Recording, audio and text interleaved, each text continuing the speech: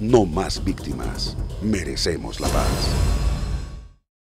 Fui a solicitar pues los beneficios que dicen que hay para las víctimas y me dijeron que no y yo soy desplazada, amenazada y mi esposo murió con una muerte violenta, homicidio.